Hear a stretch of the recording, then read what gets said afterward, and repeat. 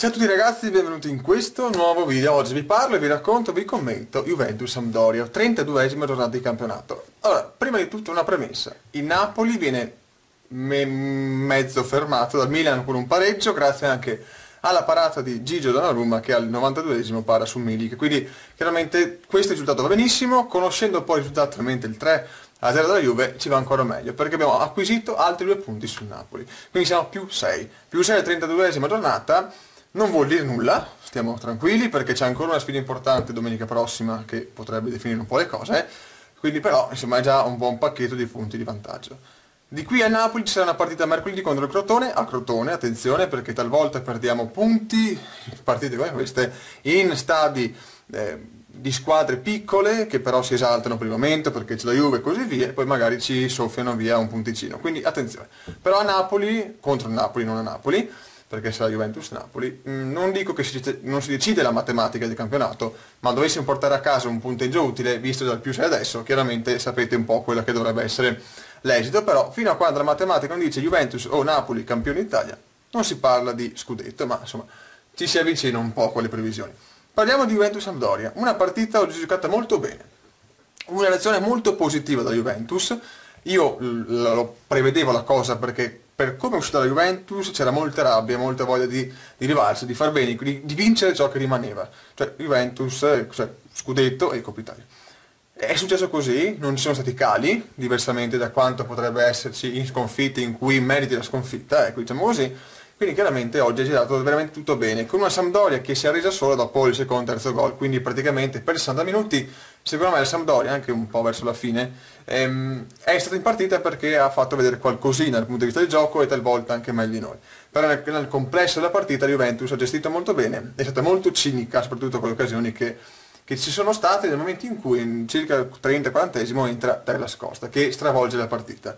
Farò un minutino, ce lo dedico dopo da Glass Costa perché merita.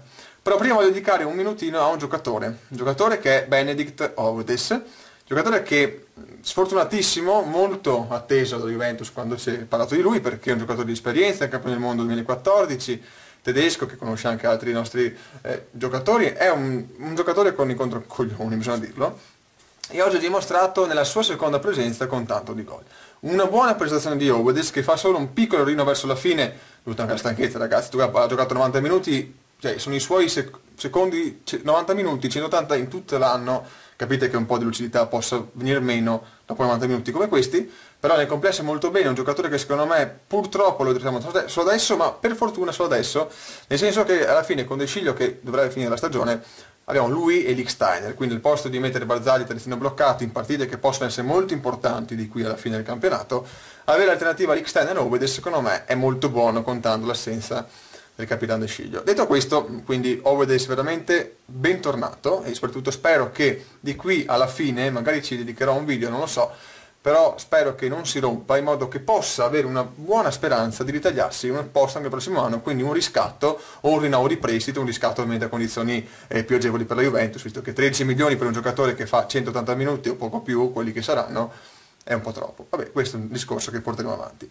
Juventus che si presenta con un 4-3-3, più o meno diciamo così, con Buffon, Buffon tra l'altro in forma strepitosa, appunto a conferma di quanto detto prima, Udis, stavo morendo tra l'altro, Rugani, Chiellini e, e Samoa, Alexandro che panchina anche perché sinceramente non sente l'assenza di eh, Alexandro nel momento in cui gioca questo Samoa. Che dira, che va in gol tra l'altro, quindi molto bene, che dira, Pjanic che poi esce prima per un problema fisico, non so di quale entità, Matuidi che sta entrando in forma nuovamente, Quadrado, Dybala e, e Mandzukic che tro, trova il gol ancora Mandzukic. Mandzukic a prima punta ragazzi, quando hai dei crossatori come poi sarà Douglas Costa, come Quadrato, Ovedes, Licksteiner, poi eh, chiaramente in quell'occasione eh, Mandzukic è fortissimo e sta giocando molto bene e sfortunatamente torna in forma solo ora Mandzukic. Diciamo che mh, questo 4-3 ha fatto girare bene tutti tranne secondo me Dybala. Dybala veramente opaco, cioè nel senso che uh, non, è, non ha fatto male né fatto bene, non si è percepito in campo e secondo me questo è un po' il suo limite, mh, nel senso che in una condizione in cui si manda il gioco mondo sulle fasce, un po' lui è penalizzato. Fasce che poi sono sfruttate con Douglas Costa, a, mh, nella piena consapevolezza dei suoi mezzi enormi, tecnici, tattici, tutto. Quindi molto bene l'impatto. Poi sono entrati Douglas Costa appunto, che è il migliore in campo, ma qui Eh, vuole dedicarci 30 secondi perché Douglas Costa non si scopre oggi. Personalmente Douglas Costa mi ha stupito, nel senso che io sapevo che era molto forte quando è arrivato da Juventus, ero molto contento contando il prezzo, 46 milioni, contando se di prestito e 40 di riscatto, ragazzi sono spiccioli in questo mercato per un giocatore che al tempo ha 27 anni, quindi chiaramente ce l'hanno regalato, secondo me è un furto che abbiamo fatto noi, bisogna proprio dirlo. Eh, ma non pensavo fosse così forte, o meglio così continuo e così impattante. Non è iniziato molto bene il, il campionato, ma per un discorso di adattamento, ma secondo me è molto forte, sta imparando molto bene anche la fase difensiva, intercetta palloni, arriva sempre prima degli altri, assist, tre assist ragazzi. Questo sta facendo assist eh, per tutto e sta facendo dribbling, che è la sua specialità, e ha il miglior tasso di dribbling eh, in Italia al campionato. Quindi ragazzi è un giocatore spettacolare che secondo me fa la differenza più di tutti gli altri che abbiamo davanti. E tutti gli altri sono Higuain, Dybala e così via. Ma senza Della Costa secondo me si perde qualcosina. Della Costa deve giocare sempre. Poi un giocatore che ha nelle sue corde, per il discorso fisico, può fare tanti minuti, giocare tante partite. È un giocatore che è grande, che deve riposare. Quindi secondo me alla fine anche ciò gli va anche a favore. Quindi veramente la Costa mi ha stupito più di quanto in realtà sapessi già fosse forte. Quindi veramente top. Poi è entrato Bentancur, giusto che, che giochi anche lui, quindi è un giocatore che mi piace molto. E infine Andro Sturaro, il vice capitano, secondo me e pochi altri, e va bene così.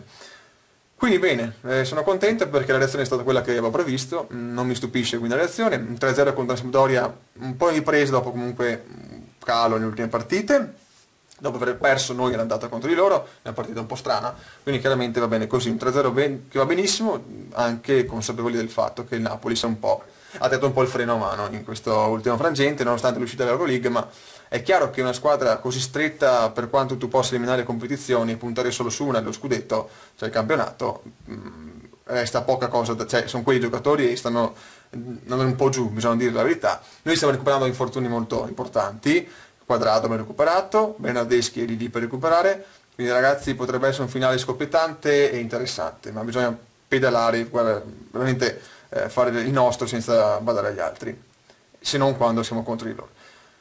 Quindi forza Juve ragazzi, bella reazione dello stadio, del, della squadra, di buffoni tutti. Eh, la Juve c'è e non è morta e non sarà un spiacevole inconveniente diciamo, eh, di quella Real Juventus a far svanire i nostri sogni che sono rimasti, che è il settimo scudetto di fila e bisogna raggiungere in ogni modo possibile e immaginabile. Forza Juve, come sempre, alla prossima. Ciao. Paura, paura, paura, paura.